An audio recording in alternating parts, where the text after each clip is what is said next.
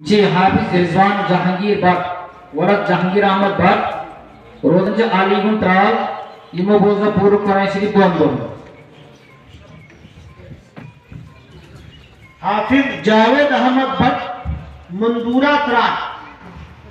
हाफिज जावेद अहमद भट्ट पाँचवें नंबर पे हाफिज अशफाक अहमद जा साकिन हाजन सतूरा। हाफिज इशफाक अहमद जार वरद फारूक अहमद।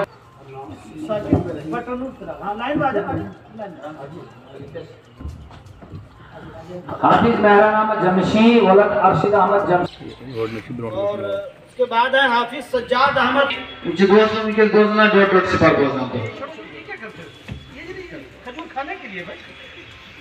अ, की सवान हयात पर एक बहुत ही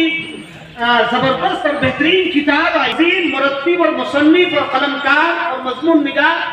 और साहिब किताब माशा हज़रत मौलाना मुफ्ती सैयद इसहाक अहमद साहब नाज की दामत बरकत जलसा हमें इस सिलसिले में था कि जब इस मदरसे में हर साल कुछ हुफाज तैयार होते हैं तो अल्हम्दुलिल्लाह इस साल तो हमें आठ हुफाज तैयार हुए थे, जिनमें से अल्हम्दुलिल्लाह दो हुफाज ने पूरा कुरान पाक सिर्फ़ एक दिन में सुनाया था। और दो हुफाज ऐसे थे कि जिन्होंने पूरा कुरान पाक दो दिन में सुनाया था। अल्हम्दुलिल्लाह, ये जलसा आज इख्ताम पजीर हुआ, अल्लाह ताला के फजल करम से। तो मैं सबसे गुजारिश करता हूँ कि अपने बच्चों को कुरानी तालीम दे दो, क्योंकि जो अमन का पैगाम देता है, और अगर हम अपने बच्चों को, अपनी यूथ को और अपनी आइंदा नस्लों को बचाना चाहते हैं। हर बुराई से और हर क्राइम से हर गैर कानूनी और गैर शरी चीज़ों से तो हमें इनको कुरानी तालीम देनी चाहिए कि कुरान पाक में सब चीज़ें हर एक को अमन देता है और हर एक के लिए वो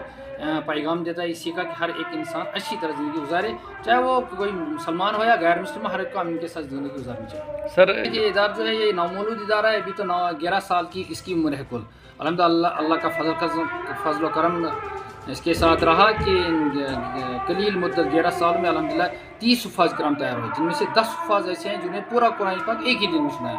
और छः हफाज ऐसे हैं जिन्होंने पूरा कुरान पाक दो तीन दिनों में सुनाया और दो हफाज ऐसे हैं जिन्हें पुरान कुरान पाक दो ही दिन में सुनाया हम सिर्फ़ उन हफाज को यहाँ सनद और सर्टिफिकेट देते हैं जो पूरा कुरान पाक एक दिन में सुना सकें या दो दिन में या तीन दिन में। उसके अलावा अगर कोई बच्चा हमें चार दिन, पाँच दिन छः दिन में कुरान पाक सुनाए तो वो भी हमारे नज़दीक हाफिज़ तो होता है, उसकी में अच्छी तरीके से उसको इनामा से नवाज़ जाता है, उसके हौसला हौसला अफजाई की जाती है। अब हमारी तरफ़ से उसको सनद नहीं दी जाती है, ताकि तालीम रहेगा कि कुरान अपने बच्चों को जैसे जिस तरह हम दुनिया तालीम देते हैं मुरवजा तालीम देते हैं तो वो भी हमारी ज़रूरत है, लेकिन उसके साथ से दीनी तालीम से उनको नाशना रखें, बल्कि उनको दीनी तालीम भी देते रहें, ताकि वो दीनी तालीम के साथ दुनियावी तालीम के साथ साथ दीनी तालीम भी हासिल करें, दीनी तालीम के साथ दुनिया तालीम भी हासिल करें, ताकि ये बैलेंस रहे और ताकि पूरी उम्मत को इनसे पूरा पूरा भरपूर फ़ायदा मिल जाए। Thank you